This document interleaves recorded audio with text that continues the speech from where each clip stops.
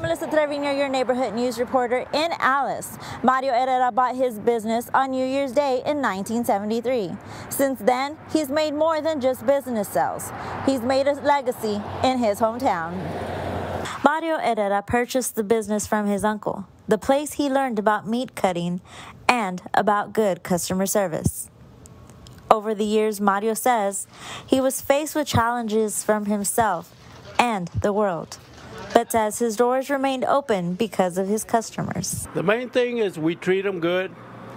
Uh, we give them what they want. We give them the quality meats. Very first customer was Hector Chapa here from Alice. And he walked in and bought a bruise pie. So I sold it to him for 10 cents. Pie tradition between Mario and Hector Chapa has been going strong. This is just one example of Mario's generosity to his community, knowing many of his customers by names and family tree. Because of these connections, Mario's customers and employees say Mario's business is a store for generations. Mario says he's seen the world change in many ways, like during the pandemic. The, the sales were down and uh, wasn't as busy as we usually were because everybody was uh, afraid to even go out. Business sales dropped, Mario says. He couldn't close his doors. Mario Herrera tells me he is thankful for the years his customers have given him.